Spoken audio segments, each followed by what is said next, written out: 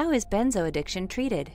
Benzo addiction is treated through the best approach of a medically supervised detox. Medical detox also reduces the discomfort of withdrawal, minimizing the likelihood of relapse. During medical detox, inpatient programs can provide monitoring. This means that symptoms can be identified and treated before they grow, spread, or worsen.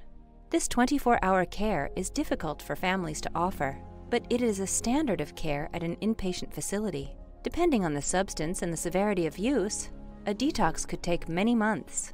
Remember that you are not alone if you or someone you know is suffering from benzo addiction. Help is available.